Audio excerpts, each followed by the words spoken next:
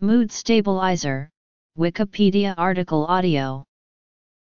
A mood stabilizer is a psychiatric pharmaceutical drug used to treat mood disorders characterized by intense and sustained mood shifts, typically bipolar disorder type I or type 2, the borderline personality disorder and schizophrenia. Uses Examples Mineral Anticonvulsants Antipsychotics Other. Combination therapy. Relationship to antidepressants. Mechanism. Categories. Used to treat bipolar disorder, mood stabilizers suppress swings between mania and depression. Mood stabilizing drugs are also used in borderline personality disorder and schizoaffective disorder. The term mood stabilizer does not describe a mechanism, but rather an effect. More precise terminology is used to classify these agents. Drugs commonly classed as mood stabilizers include Many agents described as mood stabilizers are also categorized as anticonvulsants. The term anticonvulsant mood stabilizers is sometimes used to describe these as a class.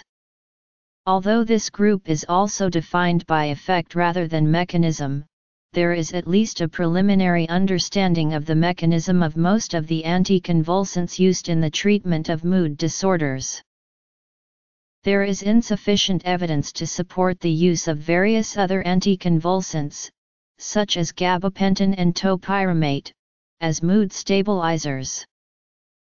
In routine practice, monotherapy is often not sufficiently effective for acute and slash or maintenance therapy and thus most patients are given combination therapies. Combination therapy shows better efficacy over monotherapy in the manic phase in terms of efficacy and prevention of relapse. However, side effects are more frequent and discontinuation rates due to adverse events are higher with combination therapy than with monotherapy. Most mood stabilizers are primarily antimanic agents, meaning that they are effective at treating mania and mood cycling and shifting, but are not effective at treating acute depression. The principal exceptions to that rule, because they treat both manic and depressive symptoms, are lamotrigine, lithium carbonate and quetiapine. Nevertheless, antidepressants are still often prescribed in addition to mood stabilizers during depressive phases. This brings some risks, however, as antidepressants can induce mania, psychosis, and other disturbing problems in people with bipolar disorder in particular, when taken alone. The risk of antidepressant-induced mania when given to patients concomitantly on antimanic agents is not known for certain but may still exist. The majority of antidepressants appear ineffective in treating bipolar depression.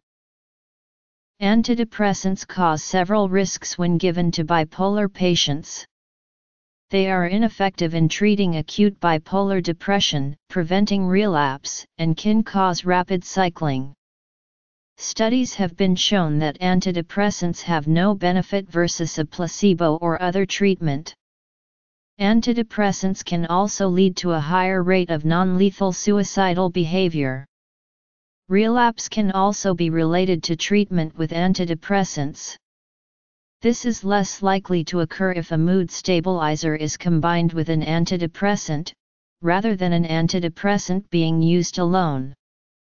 Evidence from previous studies shows that rapid cycling is linked to use of antidepressants. Rapid cycling is defined as the presence of four or more mood episodes within a year's time. Evidence suggests that rapid cycling and mixed symptoms have become more common since antidepressant medication has come into widespread use.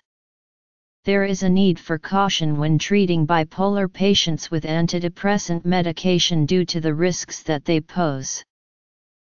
Use of mood stabilizers and anticonvulsants such as lamotrigine, carbamazepine, valproate, and others may lead to chronic folate deficiency, potentiating depression. Also, folate deficiency may increase the risk of depression and reduce the action of antidepressants. L-methylfolate, a centrally acting trimonoamine modulator, boosts the synthesis of three CNS neurotransmitters, dopamine, norepinephrine, and serotonin. Mood stabilizers and anticonvulsants may interfere with folic acid absorption and L-methylfolate formation. Augmentation with the medical food L-methylfolate may improve antidepressant effects of these medicines, including lithium, and antidepressants themselves, by boosting the synthesis of antidepressant neurotransmitters. However, the U.S. National Institutes of Health issued a warning caution about the use of L-methylfolate for patients with bipolar disease. The precise mechanism of action of lithium is still unknown, and it is suspected that it acts at various points of the neuron between the nucleus and the synapse. Lithium is known to inhibit the enzyme GSK3b. This has the effect relieving pressure on the circadian clock, which is thought to be often malfunctioning in people with bipolar disorder, and positively modulates gene transcription of brain-derived neurotrophic factor. The resulting increase in neural plasticity may be central to lithium's therapeutic effects. Lithium may also increase the synthesis of serotonin. All of the anticonvulsants routinely used to treat bipolar disorder are blockers of voltage-gated sodium channels, affecting the brain's glutamate system. For valproic acid, carbamazepine, and oxcarbazepine, however, their mood-stabilizing effects may be more related to effects on the GABAergic system. Lamotrigine is known to decrease the patient's cortisol response to stress. One possible downstream target of several mood stabilizers such as lithium, valproate, and carbamazepine is the arachidonic acid cascade. Valproic acid, valproate semisodium, and sodium valproate available in extended release form. This drug can be very irritating to the stomach, especially when taken as valproic acid. Liver function and CBC should be monitored, lamotrigine particularly effective for bipolar depression. Usual dose is 100-200 mg daily, which can be built up by 25 mg every two weeks. The patient should be monitored for signs and symptoms of Stevens-Johnson syndrome, a very rare but potentially fatal skin condition, carbamazepine CBC should be monitored, as carbamazepine can lower white blood cell count. Therapeutic drug monitoring is required. Carbamazepine was approved by the U.S. Food and Drug Administration as a bipolar disorder treatment in 2005, but had been widely used previously.